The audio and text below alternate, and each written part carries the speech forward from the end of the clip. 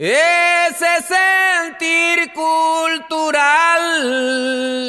de todo el Bolívar grande que por el mundo se expande sigue siendo original. El canto tradicional del artista campesino que alegraba los caminos cual pajarillo silvestre. Me da gusto que hoy se muestre con su brillo diamantino.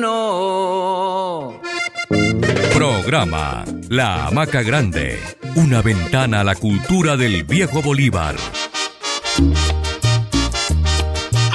Bajo la dirección de Edgar Francisco Cortés. La Hamaca Grande, una ventana a la cultura del viejo Bolívar.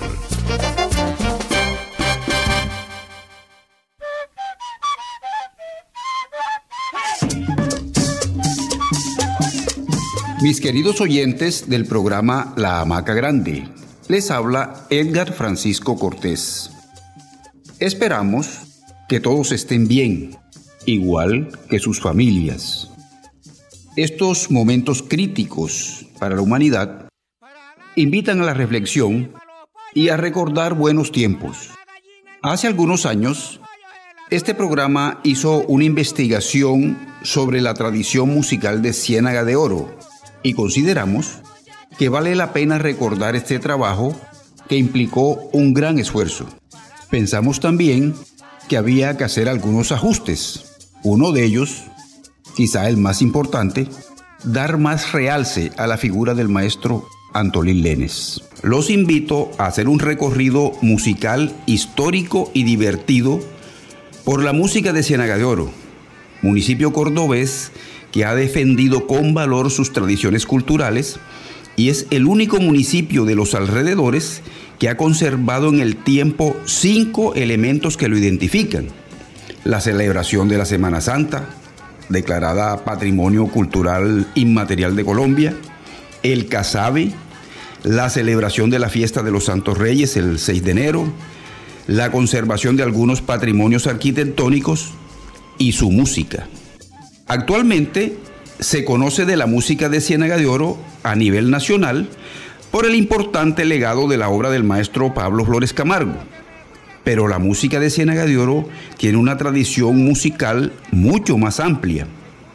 Nuestra intención es mostrar algo del ambiente que vivió la época de oro de la música lorana. Pero empecemos con música. Escuchemos el fandango Ciénaga de Oro de Antolín Lenes en versión de Antolín y su comborense.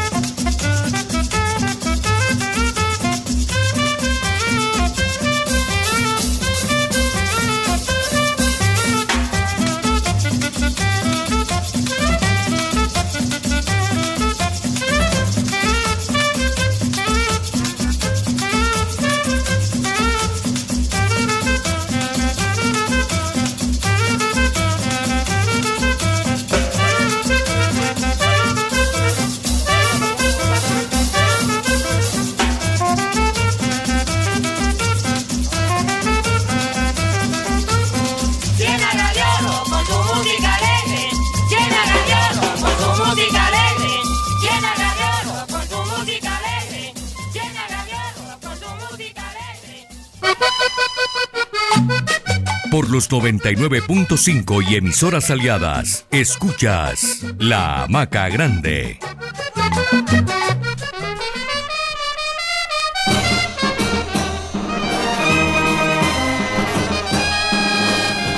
Queremos aclarar que para hacer el presente programa consultamos varias fuentes como el libro Estampas de Ciénaga de Oro de don Manuel H. Pretel Mendoza y conversamos con músicos que hicieron parte de la historia como Lucy González, la cieguita, y Filiberto González Macea, ambos ya fallecidos.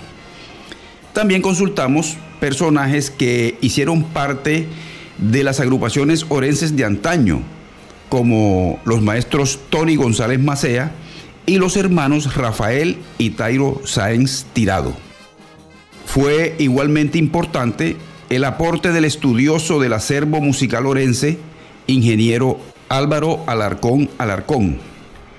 Esencial la información de la revista La Lira de Barranquilla en su edición número 49 en el artículo escrito por Enrique Muñoz Vélez sobre la vida y la obra de José Pianeta Pitalúa.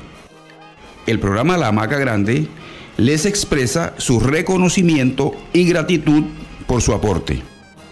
Por las menciones que se hacen de su nombre, creemos que el primer músico notable de Ciénaga de Oro fue don José María Fortunato Sáez Agames, nacido el 9 de enero de 1867 y quien fue conocido como el Negro Sáez. Contaba unos 11 años cuando su madre notó su facilidad para la música y lo llevó al profesor Bartolomé Torrente para que le enseñara a tocar cualquier instrumento. Al poco tiempo ya conocía todos los instrumentos de cuerda, por lo cual el señor Torrente también le enseñó la escala. Luego ingresó a la banda del municipio. En 1880, la familia Sáez Agames se trasladó a vivir a Montería, donde José María Fortunato ejerció como maestro de escuela y luego como colector de rentas. En sus horas libres se dedicaba a la música y se vinculó a la banda que fundó don Pepe Milanés, quien también fue su maestro. Con otro músico puertorriqueño, el profesor José de la Paz, aprendió la teoría musical y el reparto de instrumentos para canto y banda. Luego regresó a Ciénaga de Oro, donde fundó la banda San José, muy reconocida en la costa caribe. En la última etapa de su banda San José, el Negro Sáez contó con la colaboración de su hijo Samuel Rosendo, con su hermano Tomás de Aquino, de su nieto Cayetano y de sus sobrinos Ignacio y Johnny, hijos de Tomás de Aquino. Entre las composiciones musicales del Negro Sáenz figuran la polca No temas que yo respondo, dedicada a don Sabas Martínez Camargo, el vals Lázaro Mejía Pérez Sucros y varias marchas religiosas, entre ellas Jueves Santo, con la cual se inicia el desfile de las grandes procesiones de Semana Santa en Ciénaga de Oro, celebración declarada Patrimonio Inmaterial Cultural de Colombia por el Ministerio de Cultura. En honor al maestro José María Fortunato Sáez Agames, el negro Sáez, escuchemos el introito compuesto por el maestro Francisco Sumaque Gómez, inspirado en su obra.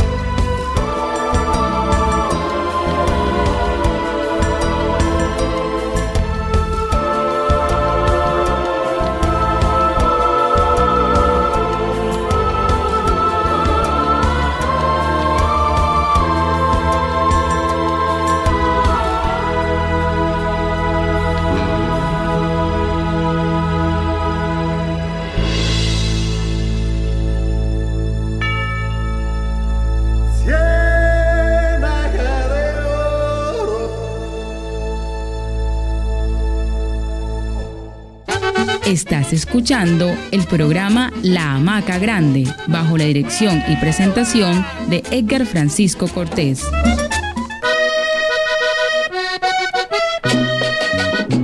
Antes de hablar sobre la obra musical de la descendencia del Negro Sáez, es indispensable mencionar a José Pianeta Pitalúa, nacido en Ciénaga de Oro el 19 de marzo de 1900 y fallecido en Cartagena en 1974, quien comenzó en la banda de su pueblo, la banda San José.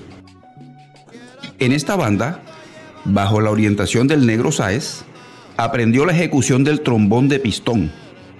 La banda San José se presentó en Cartagena en varias oportunidades en las fiestas novembrinas de 1926. En esta ciudad, José Pianeta Pitalúa fue contratado por Francisco Lorduy para actuar en su Lorduy Jazz Band. A partir de entonces, se radicó en Cartagena participando de manera alternativa en la banda Bolívar del profesor Ramón Epifanio Puello, su maestro. Adelantándonos un poco en la historia, escuchemos un tema grabado por la orquesta A número 1 titulado Toma tú del maestro José Pianeta Pitalúa, en el cual canta, como algo curioso, el famoso poeta cartagenero Jorge Artel, cuyo nombre de pila era Agapito de Arco.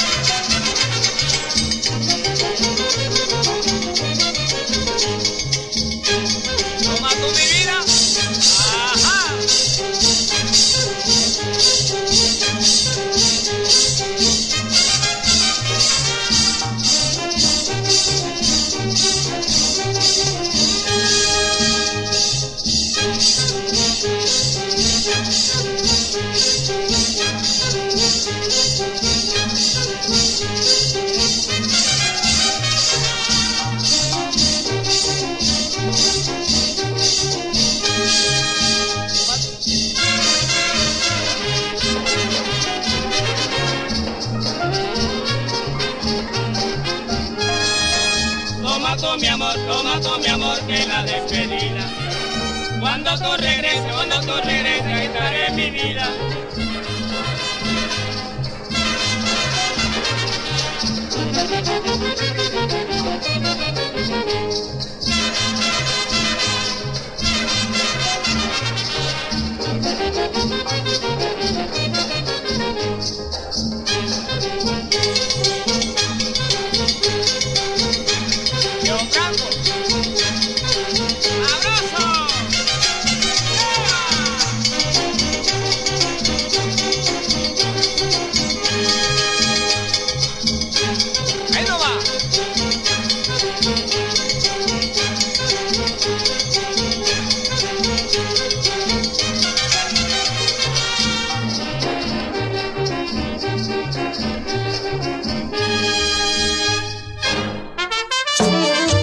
99.5 y emisoras aliadas, escuchas La Hamaca Grande.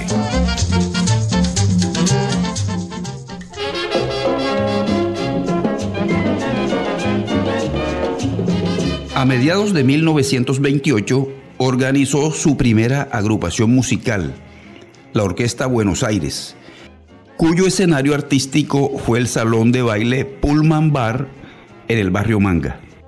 En 1930, Pianeta Pitalúa graba tres temas con el respaldo de la Orquesta Internacional del sello RCA Víctor, dirigida por Eduardo Vigil Robles, como consta en la Enciclopedia Musical Víctor.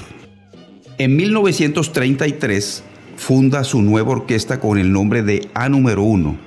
Con esta orquesta participó en los acontecimientos culturales de la ciudad, y en los radioteatros de las principales emisoras, como Fuentes, Radio Colonial, Radio Miramar, y ameniza veladas bailables en los clubes. Con él se da el primer experimento de llevar a memoria sonora las grabaciones de Disco Fuentes en 1934. Antes de continuar nuestra narración, escuchemos un fandango interpretado por la orquesta A número 1 titulado Sube la loma.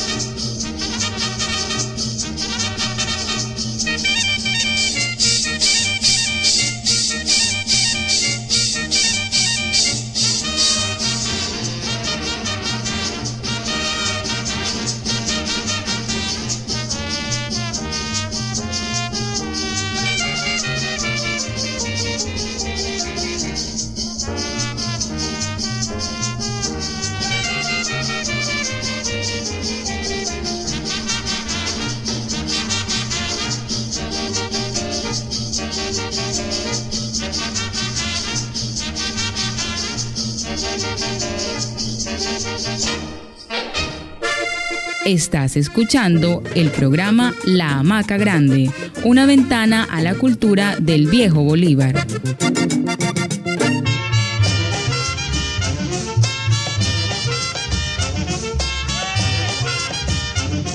En 1935, Pianeta Pitalúa incorpora a su orquesta a Lucho Bermúdez, nombrándolo director artístico. En agosto de 1939, la orquesta A número 1 alterna con la orquesta Casino de la Playa en el Circo Teatro de la Cerrezuela en el barrio San Diego. La Casino de la Playa era considerada la mejor orquesta cubana de la época. Estaba dirigida por Antonio Sacasas y en ella actuaban Orlando Guerra, Cascarita y Miguelito Valdés. Lucho Bermúdez sale en 1941 de la orquesta de Pianeta Pitalúa y forma la Orquesta Caribe. La orquesta A número 1 de Pianeta Pitalúa fue la primera orquesta de baile de Cartagena y plataforma de lanzamiento de Lucho Bermúdez. La orquesta A número 1 lideró un movimiento musical en el Caribe colombiano y en constante contacto con el universo del Gran Caribe, a tal punto que en la agrupación estuvo el pianista cubano Jesús Herrera y un trompetista excelente de alto nivel interpretativo y expresivo como Nelson García Olivo. Escribe Enrique Luis Muñoz Vélez en la revista La Lira. Escuchemos del maestro José Pianeta Pitalúa con la A número 1 el tema El Campano.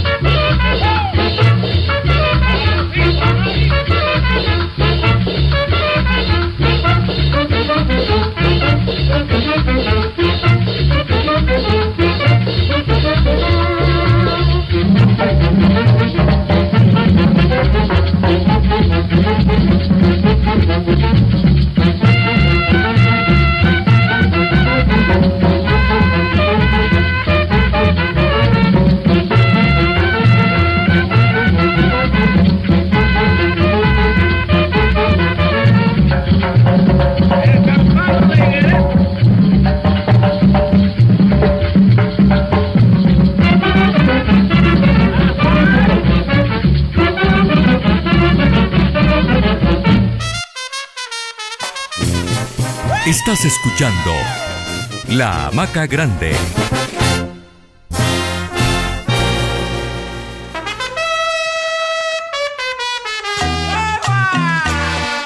Para terminar esta breve reseña de este gran músico orense, queremos mencionar otra afirmación del gran investigador cartagenero Enrique Luis Muñoz Vélez.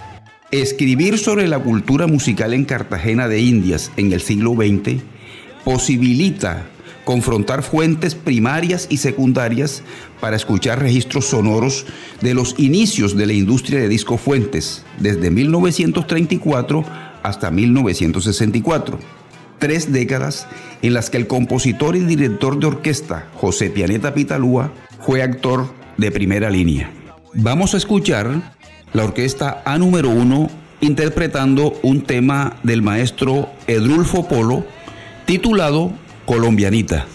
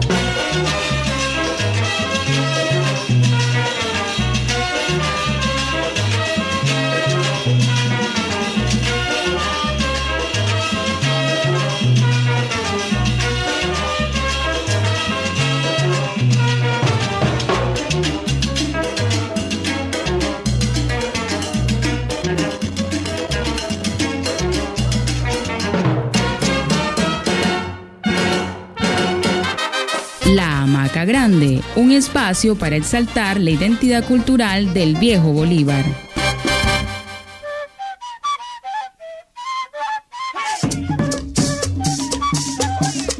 El programa La Hamaca Grande quiere compartir con su amable audiencia un hallazgo que hizo en el curso de la investigación referente a este programa. Existe un porro clásico de la discografía de la música de banda sinuana que se titula El Gavilán Garrapatero, cuya autoría siempre se ha reseñado como del folclore. Escuchémoslo en versión de la banda 19 de marzo de Laguneta, que dirige otro músico orense, el maestro Miguel Emiro Naranjo Montes.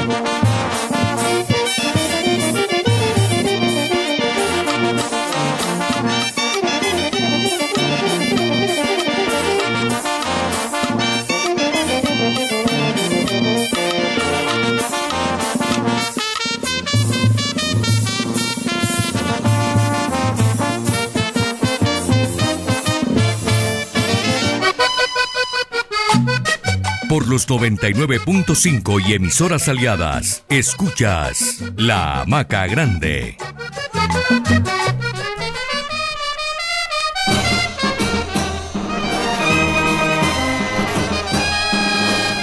Bueno, escuchemos ahora una cumbia de la autoría del maestro José Pianeta Pitalúa, titulada Ya viene la fiesta.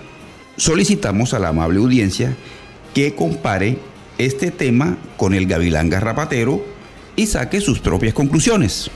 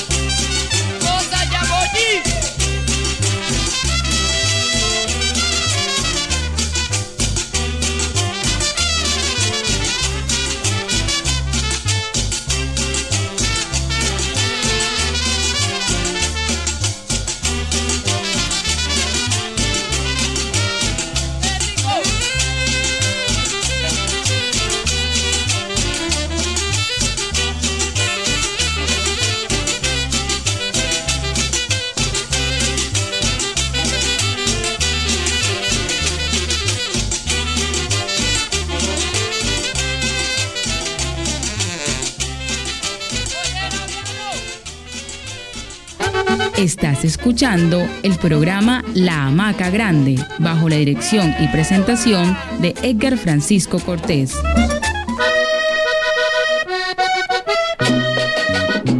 Existe otro tema de nuestra música de banda que se titula El Gran Narso, también reseñado como del folclore o bajo derechos reservados de autor. Pues bien, el investigador Enrique Luis Muñoz Vélez escribe también para la revista La Lira que en la discografía Ethnic Music on Records, volumen 4, se encuentran varios temas de José Pianeta Pitalúa, entre los cuales está el porro El Gran Narso, grabado en Nueva York en abril de 1930 por la orquesta costeña dirigida por Ángel María Camacho y Cano. Escuchemos El Gran Narso en versión de la banda 19 de marzo de Laguneta, dirigida por el maestro Miguel Emiro Naranjo Montes, otro gran músico orense.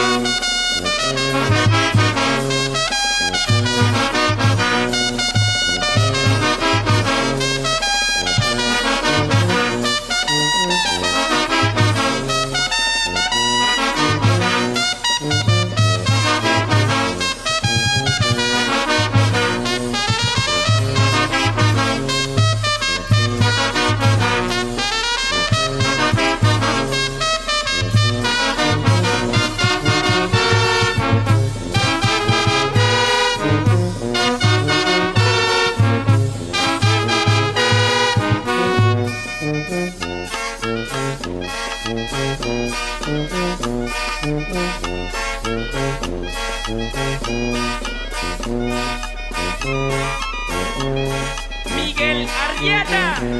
Aquí está, Rafael Eduardo.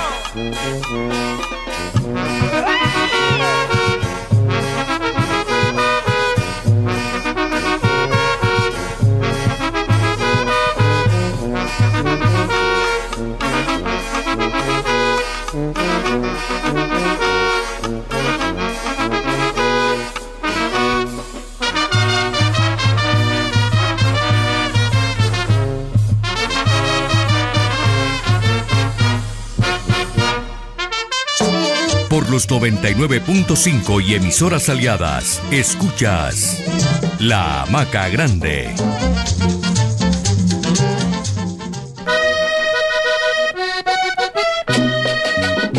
Vamos a continuar el recorrido por la obra de la gran orquesta A número 1 del maestro José Pianeta Pitalúa, con un paseo que también grabaron las orquestas de Pacho Galán y la de Clímaco Sarmiento. Se trata de Me dicen que el sapo muerde.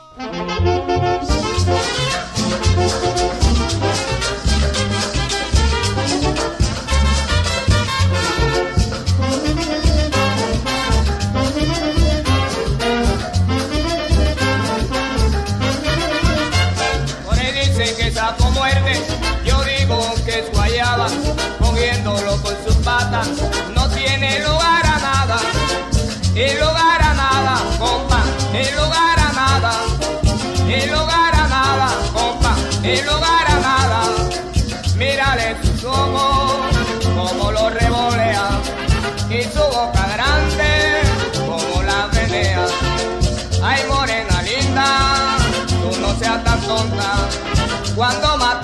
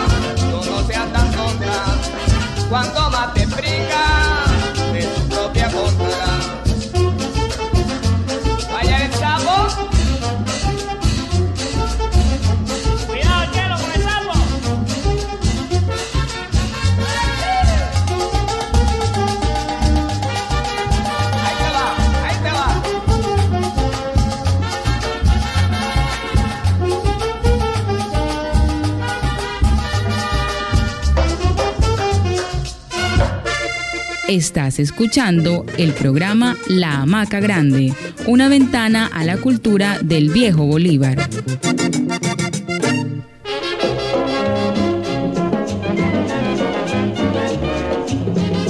Otro tema interesante de la orquesta A número 1 es la cumbia del maestro Leopoldo Cogollo titulada La Puntilla.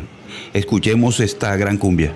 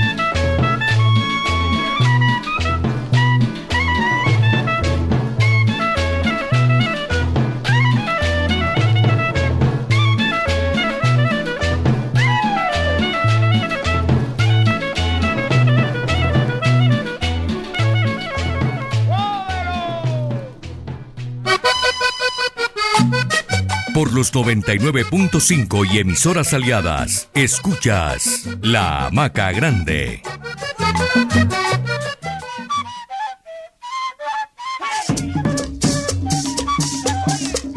Este programa también se transmite por las siguientes emisoras.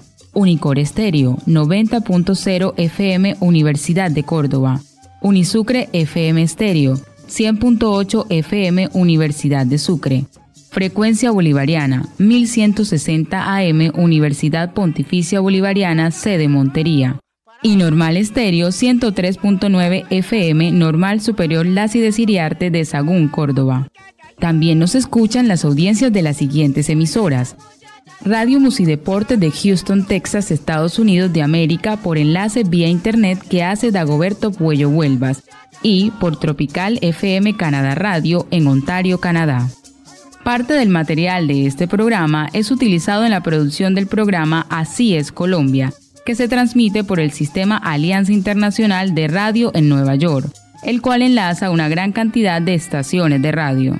Esta emisión fue realizada gracias al trabajo periodístico y locución de Edgar Francisco Cortés, con el apoyo técnico de Cleiderman García y Gustavo Chica. Despidamos esta emisión con un porro del maestro Domingo López, homónimo de otro porro del maestro caimitero Justiniano Ricardo, titulado El Negro Barreto. Interpreta la orquesta A número 1 del maestro José Pianeta Pitalúa. Los invitamos a seguir escuchando en nuestra próxima emisión este especial sobre Ciénaga de Oro y su música.